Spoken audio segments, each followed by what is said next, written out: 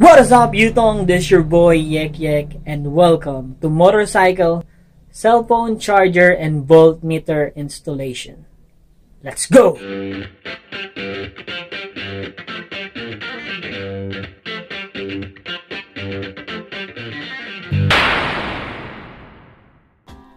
Ayun na nga guys, so bumili tayo ng cellphone charger, universal to, at saka voltmeter. So magkasama na siya sa isang device at i-install natin ngayon to sa ating Theory 125.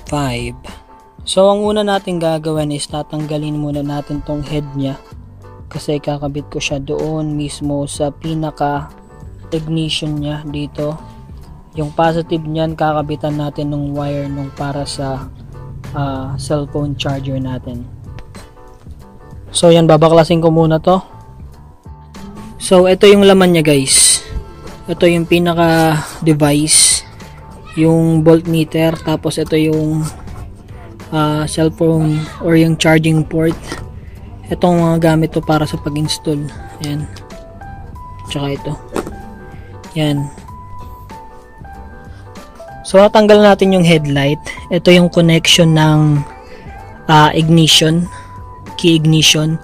So, ang gagawin nyo is uh, babaltan nyo lang tong kulay brown. Ayun yung positive ng key ignition. Tapos, tsaka nyo ikakabit or itatap dyan yung black wire or I'm sorry, yung ano, red wire nung uh, charging natin or yung charging port natin gamit lang kayo ng blade para mabalatan ng bahagya to at maitap natin yung wire nung ating cellphone charger assemblein natin to guys para mahanapan na muna natin siya ng pagkakabitan bago uh, bago natin itap yung wire para okay na okay na lahat so kabit ko lang to dito tapos babalikan ko kayo So yan guys, ito nakakita na ako ng pagkakabitan natin. Ang gagawin ko dito sa wire na to is uh, i lalagyan ko na lang siya ng electrical tape dito para dikit-dikit lang sila. Mm. Okay, so ikabit natin tong red wire ng charging port dito sa kulay brown na wire sa may ignition. Tatap nyo lang yan dyan guys.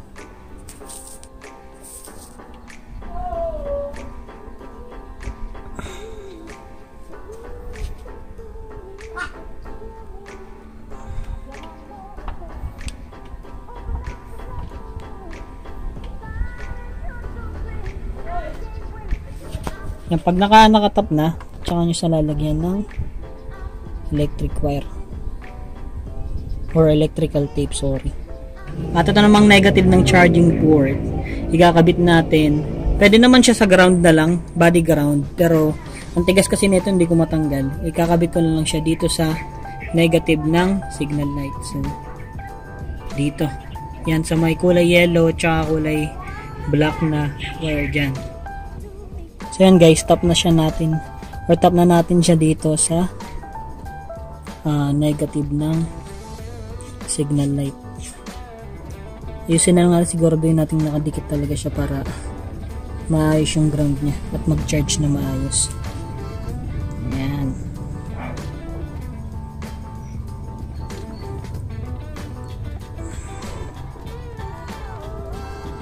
So yan habang kinakabit ko to, shoutout muna kay Glenmar Miranda. Salamat sa iyo bro. Okay. So yan.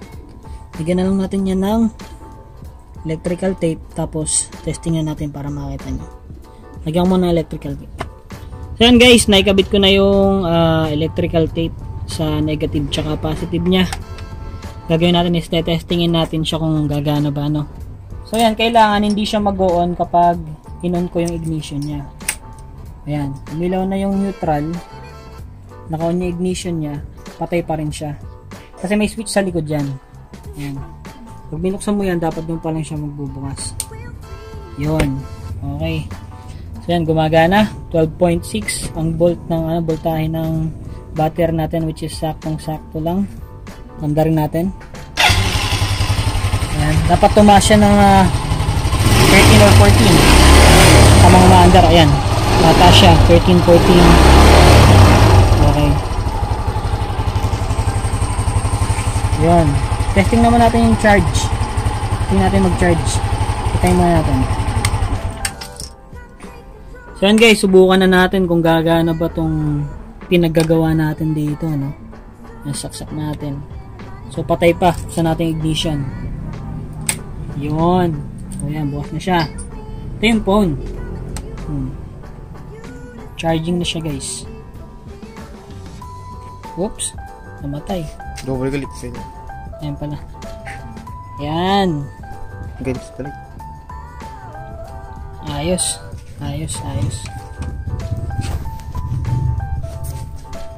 So yan guys, kumpirmado no. Okay na yung charging port natin pati yung voltmeter natin.